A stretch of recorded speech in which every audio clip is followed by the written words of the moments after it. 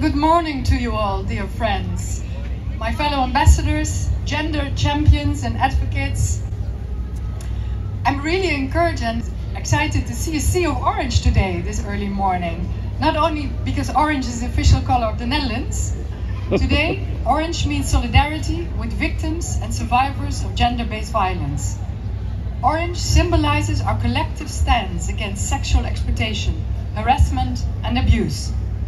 Orange means increased visibility for the faces, voices and stories of women who have endured and overcome all forms of violence from their partners, trusted persons or strangers. Today, 25th of November, is the International Day for the Elimination of Violence Against Women.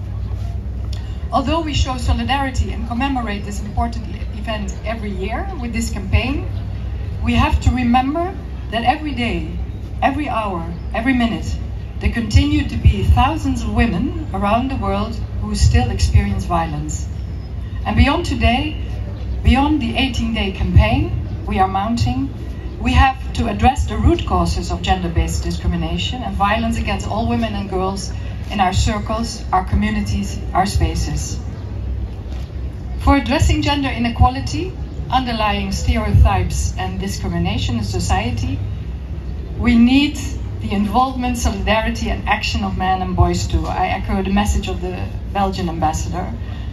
And that is why I'm very pleased to see so many members of the other sex today. Uh, can you raise your hands, um, gentlemen? Very good you're here, great because we need you to change, to change in, in this uh, area. Let us all be part of the change by speaking up against these practices and shaping conversations. And I think the motto on my t-shirt also says that he needs to be her ally in promoting safe spaces. Thank you and congratulations to all the partners that made this fifth year of Share the Road with her campaign a success. Through the leadership of the Embassy of Belgium, and participation of the embassies of Austria, France, Czech Republic and Finland. To our partners, She Decides Philippines, Filipino Freethinkers, Voice PH and Pinay Bike Commuters Group, and the rest of the team. The Netherlands stands with you in the fight to end violence against women and achieve gender equality. And I can't think of a better way than doing this by promoting cycling, cycling and a safe space uh, on the road. Cycling is the Dutch way of transporting, as you know. All right, thank you very much and have a good tour. Maraming salamat.